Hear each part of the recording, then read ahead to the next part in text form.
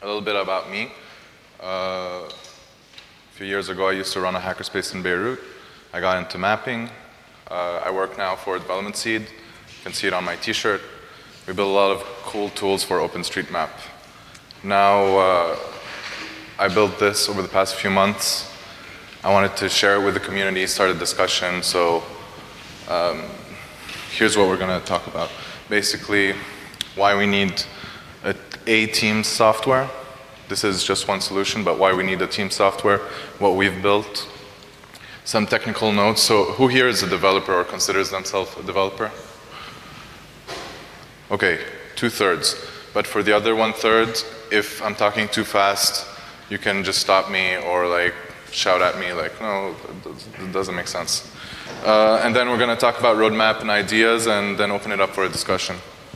So, boom, statement. OSM is a decentralized social network. Everyone here is part of a small community or a large community. Everyone kind of, um, you know, no one maps alone. Or if you do, maybe find a friend. But if you are mapping, you are part of a, part of this great social network. And you know, here we're in this conference, we're all talking to each other, sharing ideas. And another thing that's in these conferences is you see a lot of apps. And OSM is not just this community of mappers, it's a bunch of disconnected apps. You've got apps like, and great apps. They power you up, give you these capabilities. They, you know, supercharge your mapping, right? Uh, Tasking Manager, OSM Cha, uh, all the great editors. But they don't talk to each other. And so the OSM user experience, uh, going into one app, uh, editing or getting tasks or whatever, and then going to another app, that is, um, that feels disconnected. And we know that apps are building tools for coordinated mapping. So we've got OSM Cha here. You know, they have a concept of teams, they have a concept of lists, and then in the tasking manager, there's, you know, this pull request and uh, issue that says, hey, we also need teams. But OSM Cha and Tasking Manager, sure, they meet up here, and they can do that, and they're developers in the community, and they say, maybe we can talk to each other. But what about other developers that want to build teams, or want to build this feature, at least? So we were thinking, okay, we need an API, and this API needs to allow all the apps to talk to each other. And it allows you to have a team that is, for example, in the tasking manager, and then be portable to OSM Cha. And then this API has to be flexible as well. You know, the schema doesn't have to be really hard. And then it's very important that it uses OSM IDs. OSM IDs give us the security that you are who you say you are, and that you're part of the community. And Roland was talking about this, right?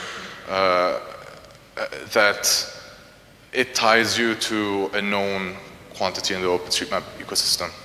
And also, we don't want to anger anyone. So it should be part of you know, this community discussion here.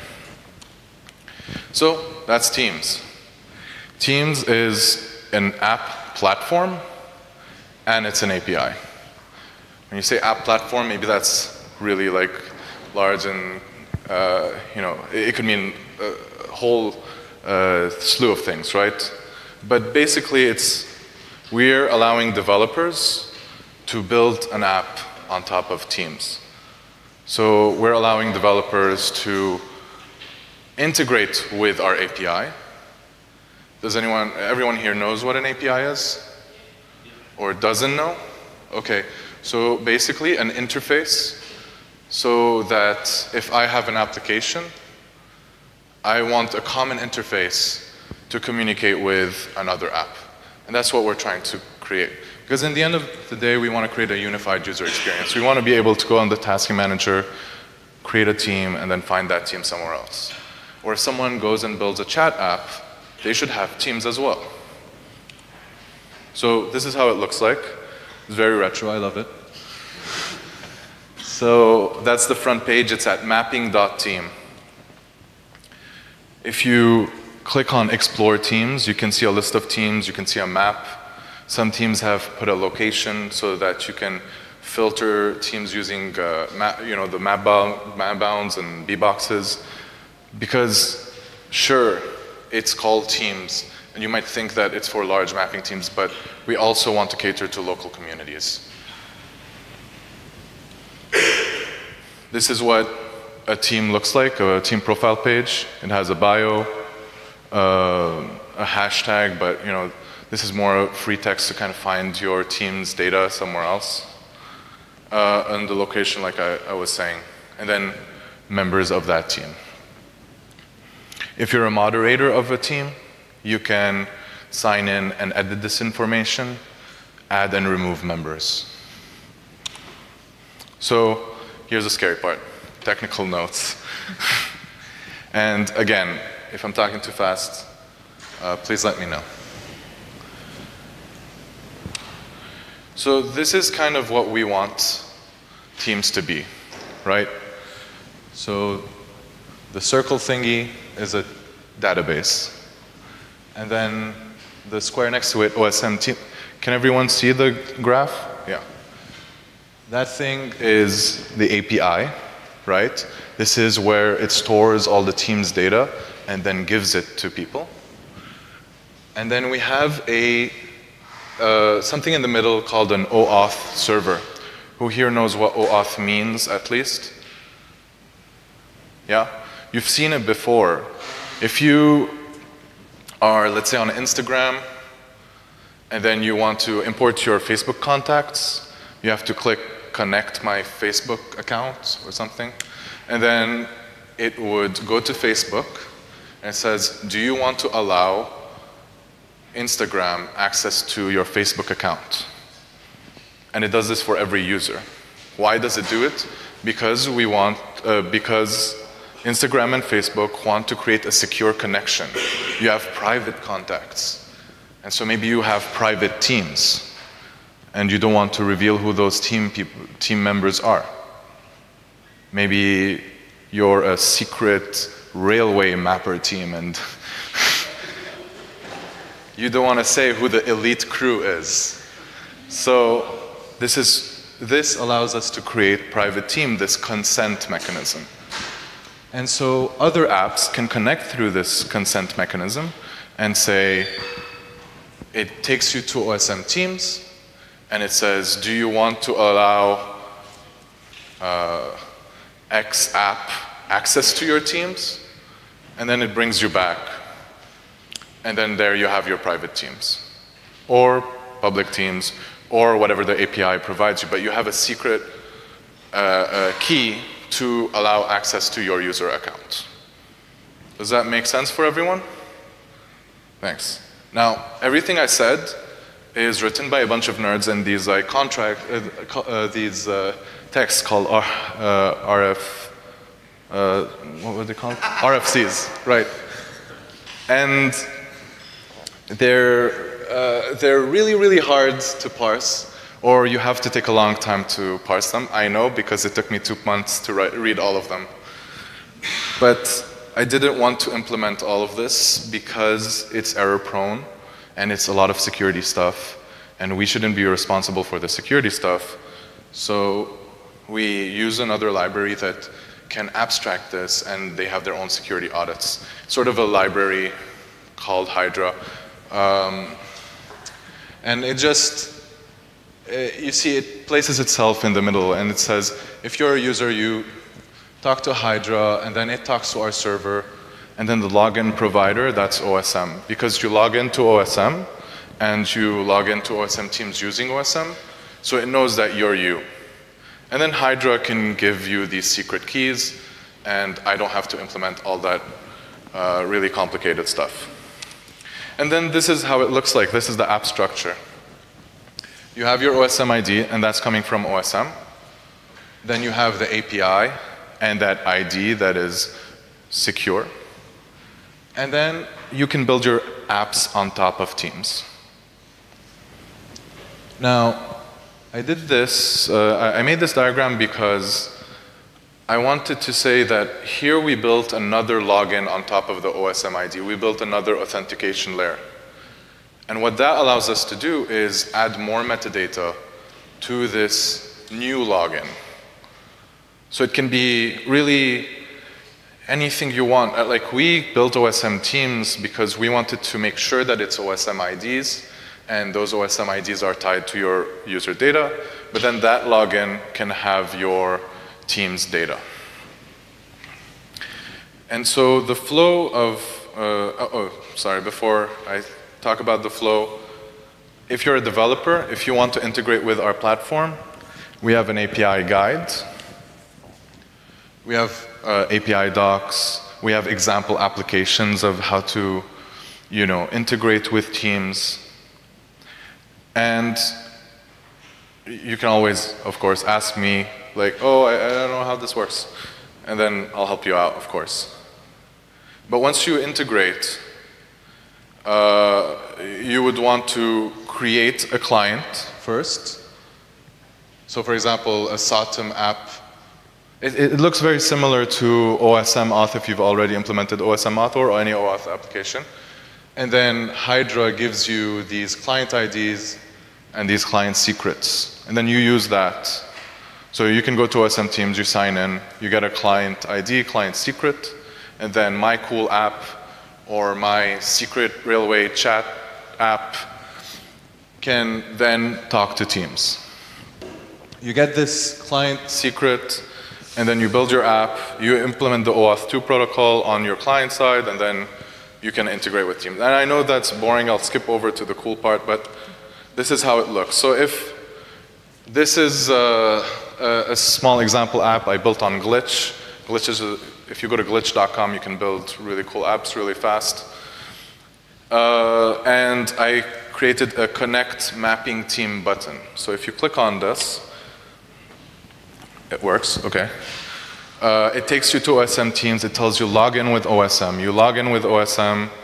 It asks for my fingerprint. Log in. And then once you grant access from the first OSM ID, it tells you glitch app wants access to your teams. You allow access, and there I have my private team, Map Kibera, which is not my team. It's the one Mikhail made. But uh, you can see that that flow was pretty simple. That is the flow that you would want to use to integrate in your app. You press connect team, takes you to OSM teams, grants access, takes you back with your private teams.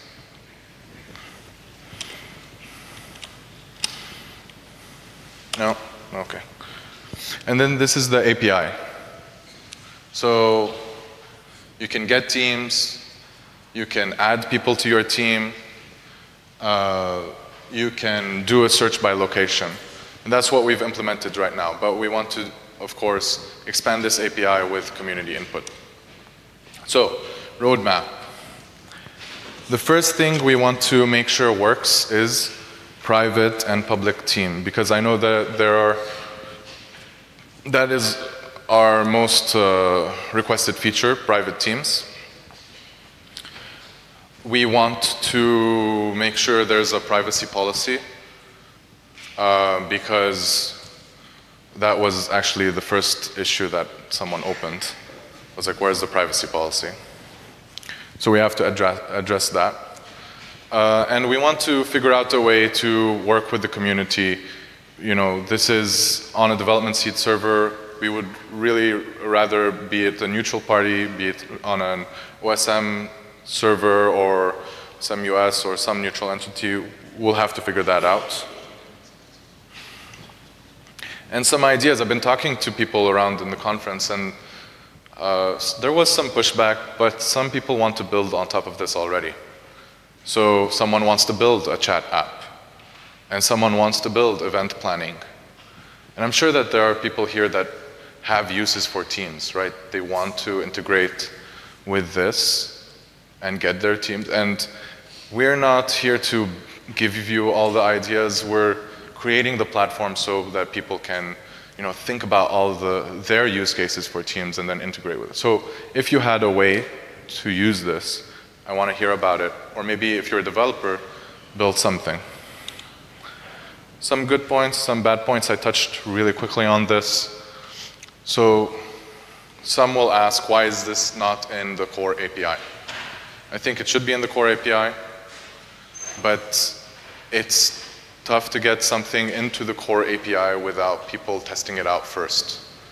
And so we're opening it up for public beta. Everyone here can use it at mapping.team, that's the URL.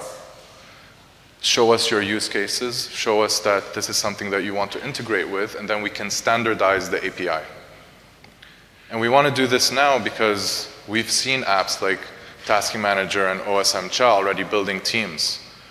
And we, want, we don't want to be stuck in a, a developer battle, you know, two years down the line, everyone's siloed back again into this disconnected ecosystem. So we're trying to force a conversation here. And we're here to talk about it. Uh, and I hope that developers come up to me and say, or open a pull request or open an issue and say, hey, let's integrate, let's figure out how to standardize the API. So that's Teams. Basically, it's a social glue for the OSM apps. It's, um, you know, we talked about how it was built and what we want to do with it. And uh, I'm going to open the floor for discussion now. So.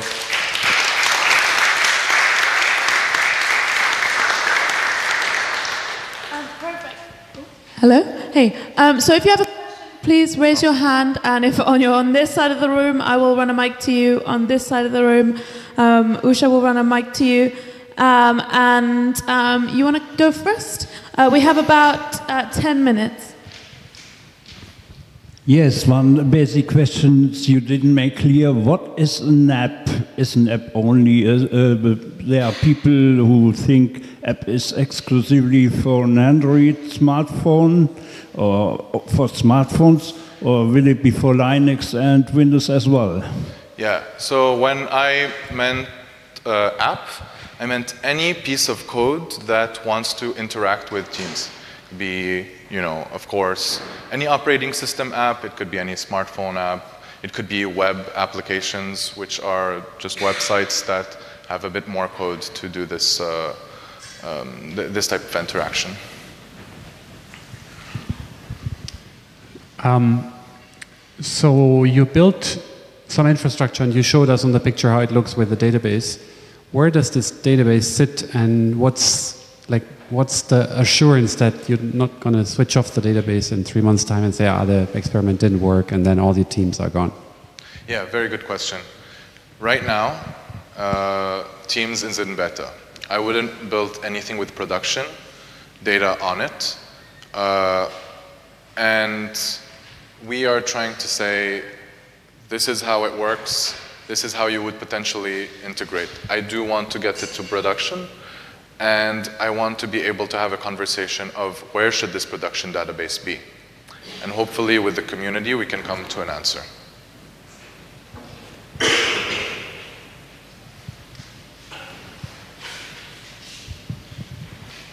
Could you, could you, you say in which case do the user need to authenticate on, on mapping teams and in which case it's just the OSM login?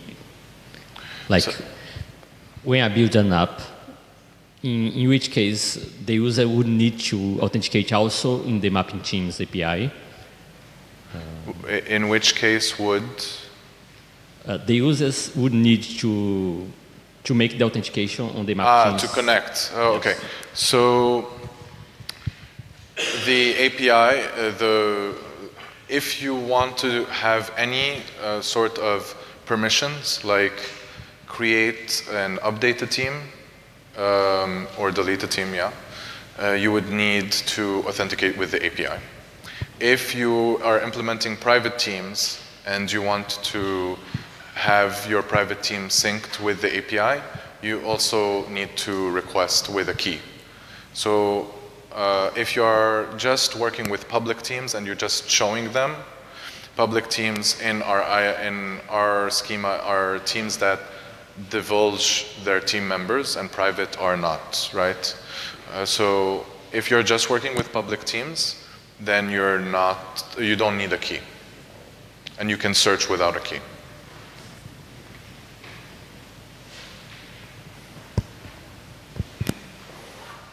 Any other questions?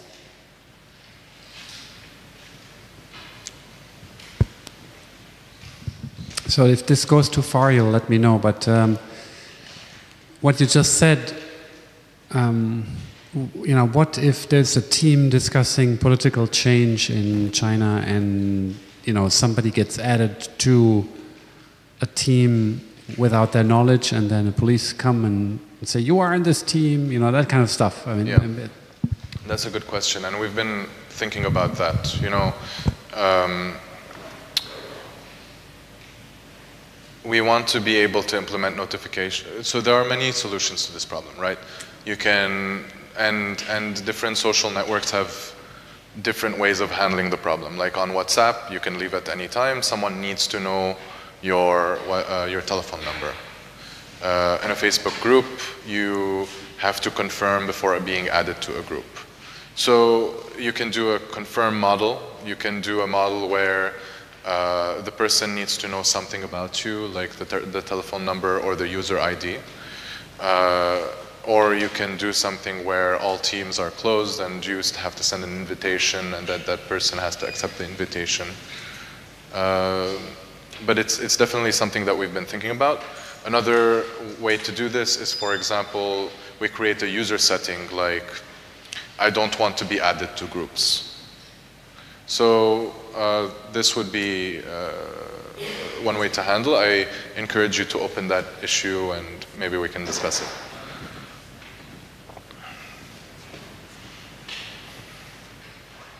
Last questions? Okay, perfect. Well, thank you so much, Marc. Thanks, everyone.